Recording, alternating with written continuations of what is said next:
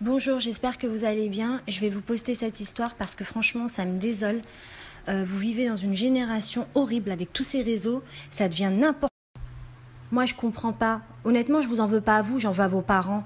Comment vos parents peuvent vous laisser avoir autant de réseaux à 13 ans, 14 ans? Ça va pas? 13 ans À 13 ans, j'avais même pas le droit de jouer encore à, la Play, là. C'était la Play moins 10, il y avait même pas de PlayStation 4, Play moins 10, Mario Bros. Arrêtez moi, je pousse un coup de gueule aux parents. Vous faites quoi? Vous êtes laxiste C'est juste pour vous débarrasser Vous vous êtes tranquille comme ça Eux, ils ont 10 applications et vous, vous faites votre vie Mais franchement, vous êtes indigne.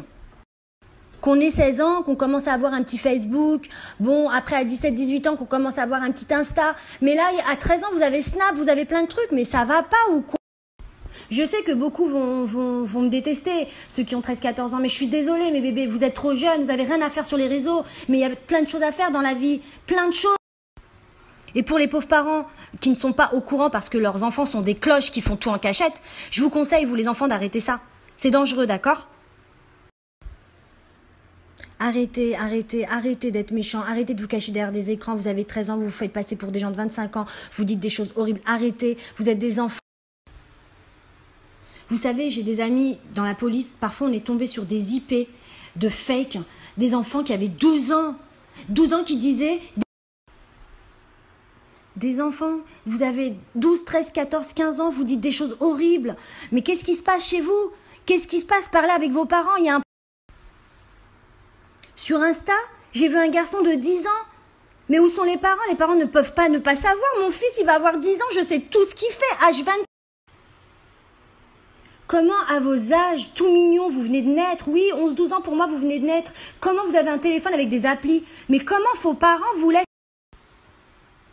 ce n'est pas être sévère de vous l'interdire. Moi, mon fils, je l'aime plus que tout. Il a un téléphone, c'est pour joindre son père. La seule appli qu'il a, c'est Bouzou pour apprendre l'anglais. Mais pourtant, je l'aime. Mais c'est pour le sauver.